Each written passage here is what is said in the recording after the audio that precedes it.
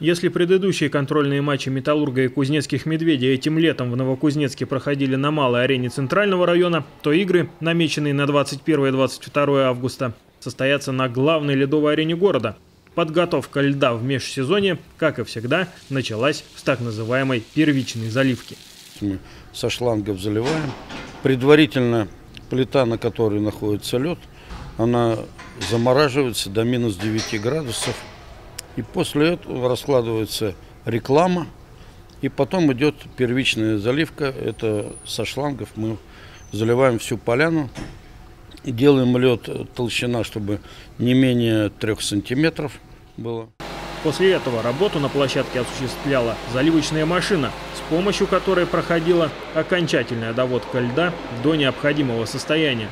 По словам Виктора Афанасьева, все подготовительные мероприятия к сезону прошли по намеченному плану, без сбоев. Службы арены кузнецких металлургов сработали слаженно.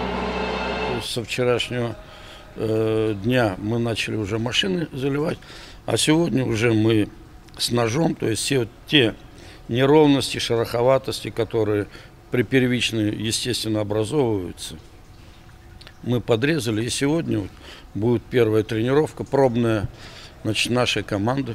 Попробуют наше качество льда. Качество льда в Новокузнецке, как и в прошлые сезоны, должно оказаться на высоте. Вода, использующаяся для заливки, проходит специальные степени очистки через фильтры, что играет немаловажную роль в процессе подготовки хоккейной арены к сезону. Ледовая площадка Дворца спорта кузнецких металлургов ранее не раз получала хорошие характеристики со стороны гостей.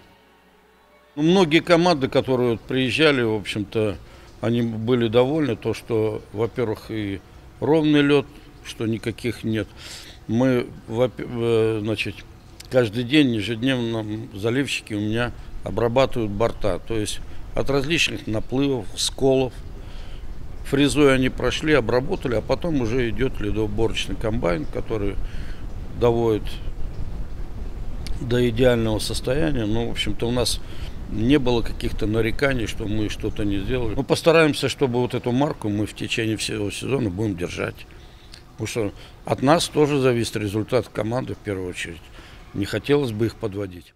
21 августа в понедельник арена кузнецких металлургов будет принимать сразу два матча. В 14.00 на лед выйдут кузнецкие медведи и омские ястребы. А в 19.00 «Металлург» начнет поединок против красноярского «Сокола». Вход на игры для болельщиков будет бесплатным.